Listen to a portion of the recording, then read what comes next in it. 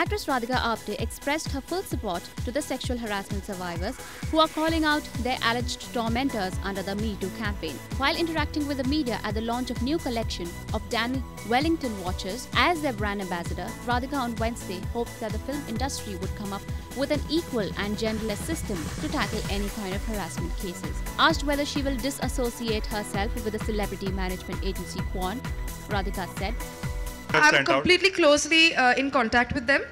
Uh, they're making sure that everybody who's involved in the agency are updated, and they've issued another statement saying that he's 100% stepped out, uh, stepped down.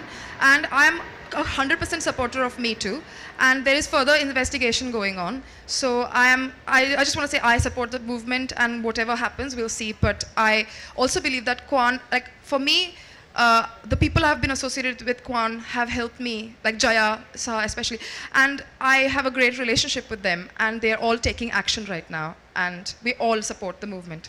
On MJ Akbar's resignation as Minister of State for External Affairs in the wake of the raging campaign, Radhika said, There are more things will come out, and we can't go. How will I see every individual case? As a industry, we are trying to come together and find a way of constructively making a system where we can all be able to have a safe environment and it's going on you will all know about that soon but I'm, I'm i'm a part of that and i hope we come up with a constructive system which is equal and uh, genderless it's for every human being IANS report.